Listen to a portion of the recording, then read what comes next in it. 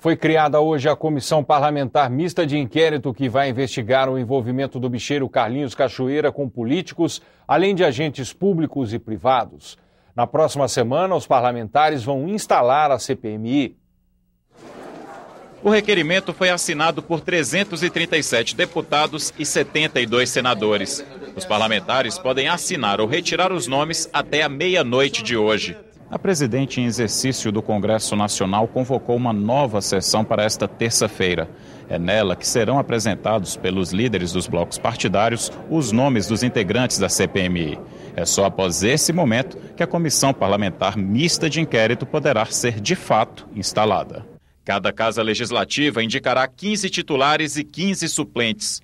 O bloco da minoria no Senado, formado por PSDB e DEM, terá direito a três titulares: Jaime Campos, Álvaro Dias e Aloísio Nunes.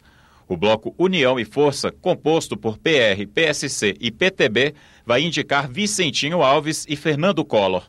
As outras dez vagas ficarão com a base governista, que ainda está definindo os nomes. Nós vamos ocupar as dez vagas que temos direito. Tá? Nós já discutimos os nomes e vamos apresentar os nomes na mesa do Senado na próxima terça-feira.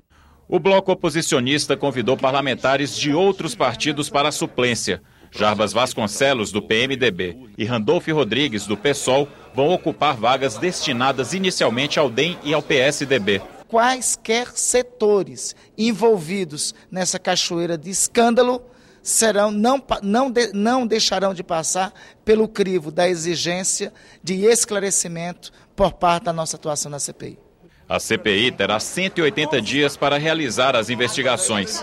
Lideranças do governo e da oposição esperam que os trabalhos não sejam blindados por agentes externos. Se a CPI foi para valer se não se constitui em farsa. Se não houver manipulação, certamente o Congresso pode prestar um grande serviço ao país. A CPI tem um eixo, então, portanto, vamos esperar a CPI ser instalada e trabalhar. Aí depois as pessoas param, param com essa história de tanta ilação, de tanta conversa, de blindagem, de não sei o quê. Tal. Deixa a CPI ser instalada e trabalhar. É muito melhor que as pessoas contribuam para que a gente faça uma verdadeira apuração.